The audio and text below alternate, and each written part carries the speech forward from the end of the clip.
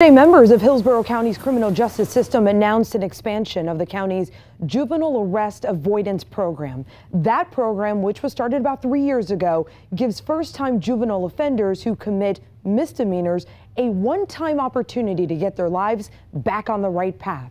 10 Tampa Bay's Eric Glasser shows you the changes that were made and why. This program works.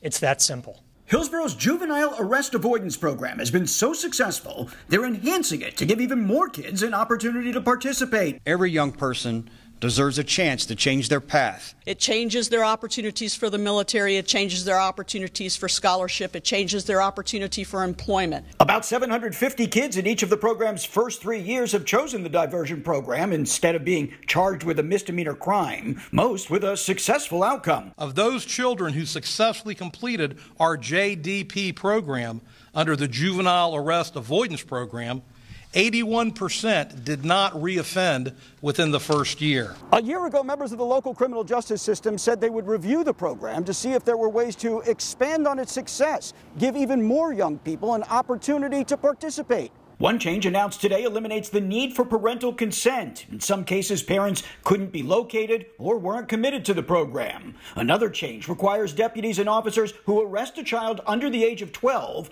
to consult with a supervisor or teachers if the offense occurred on school grounds. Getting a second opinion takes minutes, and not doing so could have a lifetime of repercussions in the form of a criminal record. Hillsborough's public defender says the timing of the changes is also important as communities look for ways to address systemic racism. As you all know, quite often it is the minority communities that are affected and impacted by arrest.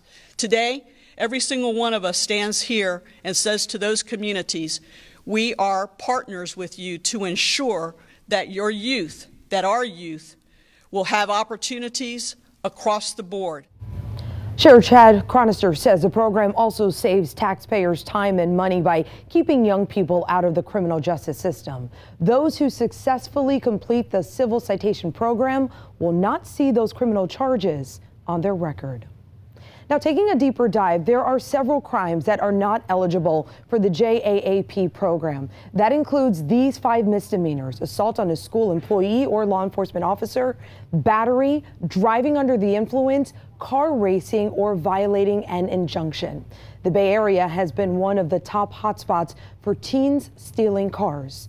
Here in Florida, that's a third degree felony, so anyone under the age of 18 arrested for grand theft or joyriding would also not qualify for this program.